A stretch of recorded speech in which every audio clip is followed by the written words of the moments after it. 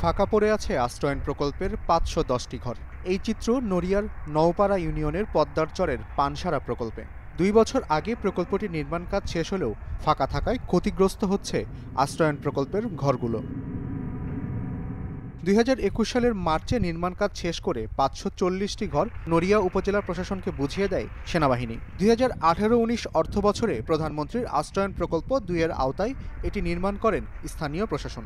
পাঁচশো পঁচিশটি ঘর ফাঁকা আছে মানে? পাঁচশো পঁচিশটি ঘর ফাঁকা যে ঘরগুলো রয়েছে সেগুলো আমরা যাচাই বাছাই করছি এবং পর্যায়ক্রমে তাদের বন্দোবস্ত দিচ্ছি। সে সময় পঁচাত্তরটি ভূমিহীন পরিবারকে ছয় শতাংশ করে জমি ও ঘর বরাদ্দ দিয়েছিল উপজেলা প্রশাসন। কিন্তু পরিবারগুলো অনেকেই ওই আশ্রয়ন প্রকল্পে বসবাস শুরু করেনি। সেখানে এখন আছে মাত্র ত্রিশটি পরিবার।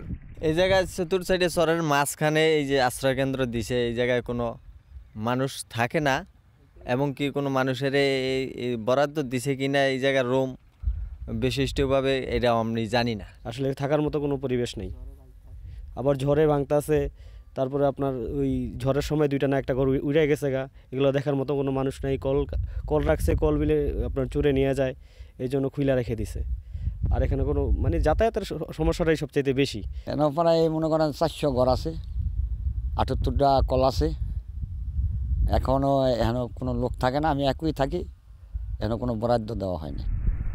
যাতায়াত ব্যবস্থা ও আশপাশে জনবসতি না থাকায় ওই আশ্রয়ন প্রকল্পে স্থানীয় ভূমিহীনরা যেতে আগ্রহী হন না বলে দাবি জনপ্রতিনিধিদের। নৌপথ স্থানীয় মানুষের যাতায়াতের একমাত্র মাধ্যম।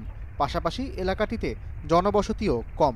মনে করেন আমরা ডেলি ডেলি যাই। মানে মানুষ যদি জায়গা ঘর নাই হেরো আহে না আর জায়গা আছে হেরা তো আহুই না। কে হেন কোনো একটা আট নাই বাজার নাই কিছু নাই।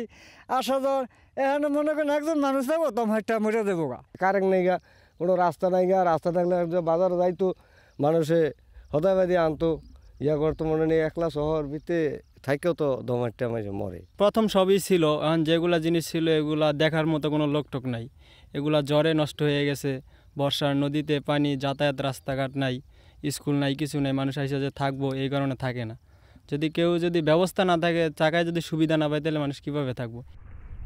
যে এলাকায় আশ্রয়ন প্রকল্পটি নির্মাণ করা হয়েছে সেখানকার মানুষের যাতায়াতের একমাত্র মাধ্যম নৌপথ। পাশাপাশি এলাকাটিতে জনবসতিও কম।